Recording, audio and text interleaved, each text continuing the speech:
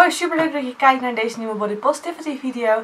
Ik ga het vandaag hebben over onder andere mijn gewicht, hoe voel ik mij erbij, wat voor kledingmaat heb ik en waar ben ik eigenlijk onzeker over. Ik ga het ook hebben over hoe je van je lichaam kan houden, hoe je blij kan zijn met jezelf. Dat ga ik allemaal bespreken vandaag in deze video.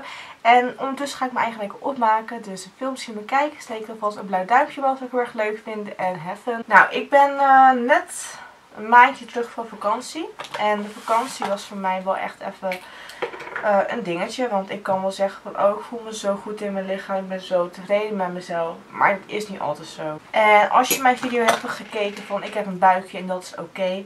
dan, ik zal hem even link hierboven.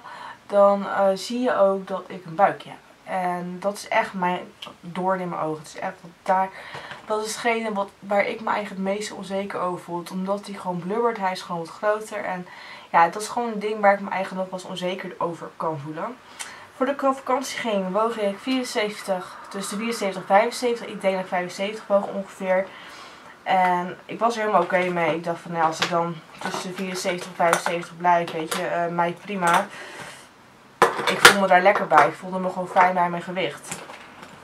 Maar vakantie ging er natuurlijk heel wat anders aan toe. ik heb een heel klein beetje ingezoomd hoor. Op vakantie ging het er wat anders aan toe. Omdat ik, uh, toen had ik zoiets van oké, ik eet gewoon drie grote maaltijden op een dag. En dat moet genoeg zijn. En dat was in feite ook zo.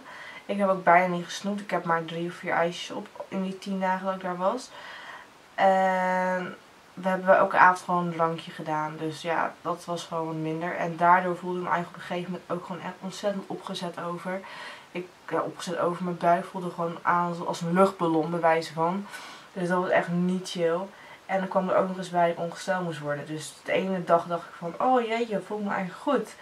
En de andere dag dacht ik van, god, wat zie ik eruit zeg. Dat was gewoon zo niet chill. Ik kon er wel, kon er lang bij, bij stilstaan, maar het heeft gewoon geen zin. Want waarom. Een ging gewoon voor de spiegel staan en zei ik gewoon tegen mezelf, Roos, je bent mooi zoals je bent. Je bent gewoon een prachtige vrouw. Je hebt, je hebt vetrolletjes, boeien. Wie kijkt er nou naar? En toen ging ik ook kijken naar de mensen op het strand. En toen zag ik ook dat zelfs het dunste meisje dat rondliep, ging zitten en ook gewoon een vetrolletje had. Ja, weet je, iedereen heeft zo zijn vetjes en dat, dat so be it. Daar zijn wij vrouwen voor om vetjes te hebben, toch? En zelfs mannen hebben ook allemaal lekkere vetjes. Boeien, het maakt toch helemaal niet uit. In ieder geval, ik kwam terug van vakantie. En ja, met het idee in mijn achterhoofd van ik moet ongesteld worden, weet je wel. Maar ik was te nieuwsgierig en ik ging op de weegschaal staan. En ik zag dat ik uh, eh, 79 woog. Dus ik baal ontzettend. En dan weet ik ook wel dat ik net gevlogen had. Ik moet ongesteld worden. Dus ik wilde gewoon ontzettend veel vocht was. Maar ja, toch ga je erom balen. Een week later ging ik weer wegen, uh, puur uit nieuwsgierigheid. Dus zag ik dat ik 76,4 uh, woog. En ik was nog steeds een beetje ongesteld. En ik moet ook eerlijk zeggen, in die week dat ik terugkom van vakantie heb ik echt vet veel ongezond gegeten. Echt bizar. Ik heb, nou niet vet veel ongezond, ik heb gewoon heel veel koekjes op. Dat is ook niet echt heel gezond natuurlijk. Maar ja, dan ben je daar kom er dus terug van vakantie en denk van nou dat, dat pak ik dan wel even op. Ik ga gewoon weer gezond eten, niks aan de hand. Nou geloof me, dat was, is en blijft een uitdaging. En het is dan niet zo dat ik denk van oh oké, nou we zijn terug van vakantie, ik ga naar mijn afval, ik ga weer gezond eten. Want dat is gewoon iets waar ik me bijna niet echt mee bezig meer hou met afval. Ja tuurlijk zou ik nog 4 kilo af willen vallen bewijs van. Ik denk dat elke vrouw of man dat wel in hun achterhoofd heeft zitten.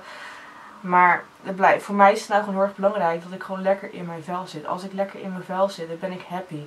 Als ik dan naar mezelf kijk en het ziet er goed uit, dan maakt dat cijfertje op de weegschaal maakt eigenlijk helemaal niks uit.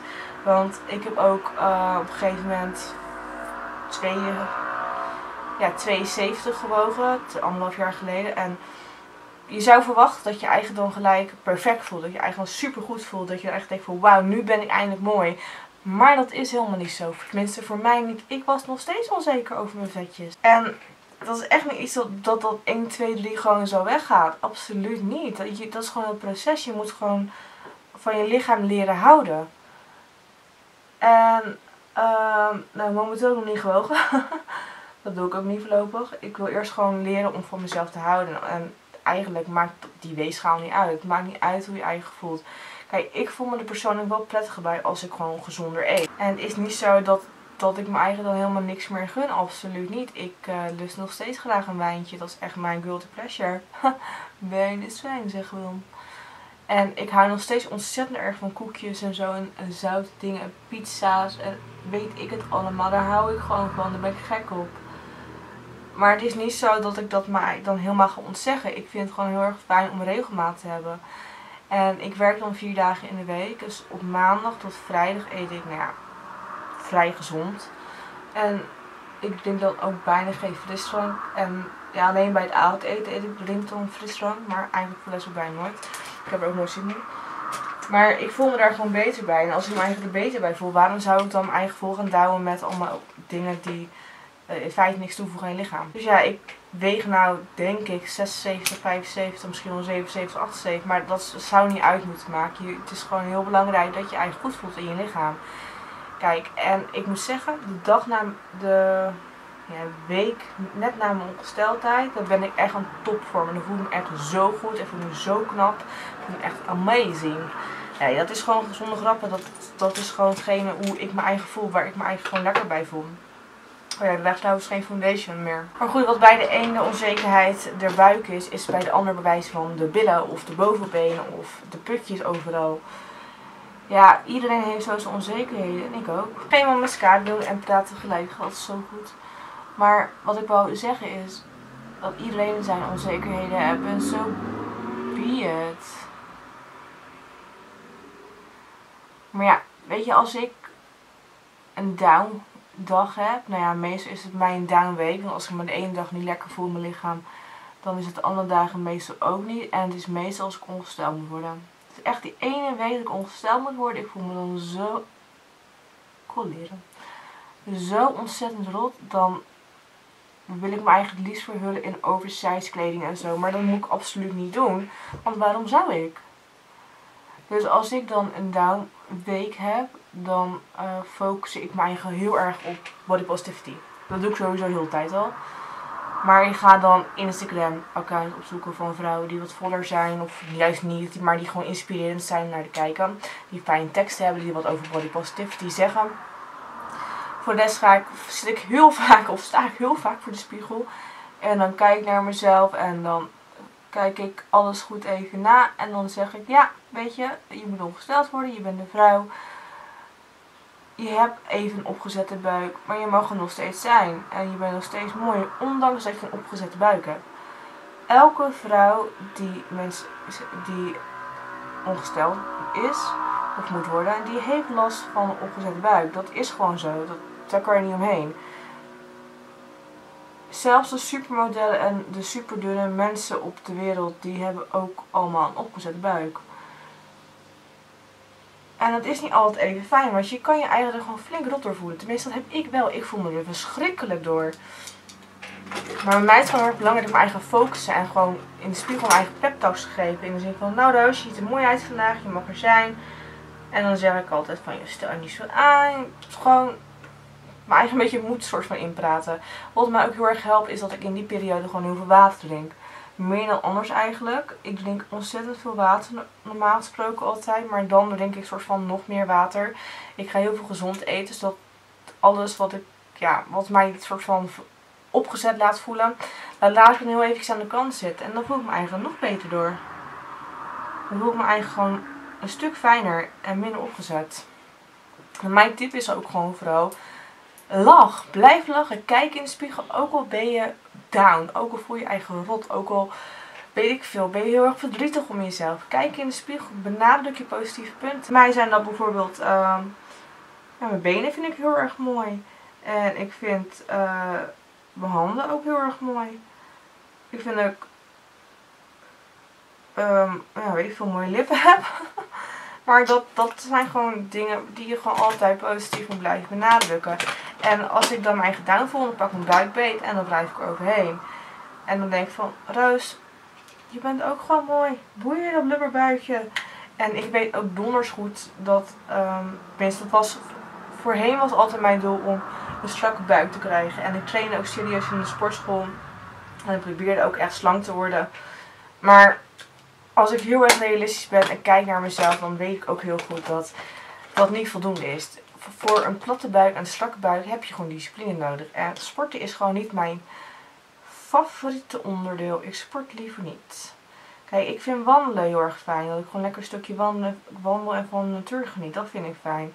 Ik vind de sportschool zelf gewoon helemaal niet leuk ook. Dus waarom zou ik mezelf ergens naartoe zetten? Ik zou, als ik er nou plezier in had, dan was het anders. Had ik het voor mijn plezier gedaan. Maar nu ga ik erheen omdat ik denk van, oh, ik moet een strakke buik krijgen. Maar dat is niet nodig. En ik weet ook heus wel dat als ik dat wil, dan moet ik heel hard gaan trainen. En mijn buikje hoort gewoon bij mij. Heel simpel. En er zijn natuurlijk vast wel een makkelijke manier om er vanaf te komen. Maar als ik daar geen zin in heb, waarom zou ik er de moeite voor gaan doen? Ik ben momenteel gewoon erg tevreden met mezelf. Kijk, ik film dit nu op een goed moment. Ik ben net ongesteld geweest, dus ik ben in mijn goede week. En ik voel me nu gewoon prettig. Maar het kan zomaar zijn dat ik uh, volgende week denk van... Gadverdamme, zie ik er nou weer uit. Het boek van Megan. Uh, zij is van Body Positivity Panda. Ik doe haar Instagram even linken. En even het boek even in de beschrijving. Dat boek heeft mij erg geholpen. Het matcht eigenlijk helemaal niet volgens mij. Hm. Dat boek dat heeft me serieus echt geholpen. Ik, door haar voelde ik me zo positief. En Vera Camilla natuurlijk. Zij inspireert me ook ontzettend erg. En ik word gewoon echt heel erg oprecht blij van haar. Ik durf dankzij haar ook gewoon crop tops te dragen. Ik durf mijn buik meer te laten zien. Een jaar geleden, no way, had ik nooit gedaan. Bikini aantrekken? Echt niet. Nu heb ik gewoon van de zomer in Griekenland, heb ik gewoon 10 dagen lang in een bikini rondgelopen. En het was heerlijk. Ik voelde me op en top sexy. Voelde me goed. Als je op zoek bent naar body positivity, dan moet je echt Vera Camille ook gaan volgen. Zij is echt een toppertje. In ieder geval, ik laat mijn haar even los. En oh, ik heb mijn haar gewassen met zilver shampoo. Kijk wat het resultaat is. Nice, pretty. Nou. In ieder geval, dit was mijn video weer. Ik hoop dat je hem leuk vond. In mijn volgende video ga ik bespreken wat mijn kledingmaat is. Wat ik koop voor mijn figuur en wat mij, uh, voor mij het beste werkt. Dat komt de volgende keer online in mijn nieuwe positivity, Body Positivity video. Ik wil jullie heel erg bedanken voor het kijken naar deze video. Doe vooral een blauw duimpje omhoog, zou ik heel erg leuk vinden. Vergeet niet te abonneren op mijn kanaal, zou ik ook ontzettend leuk vinden. En zie ik je graag in mijn volgende video's weer. Terug!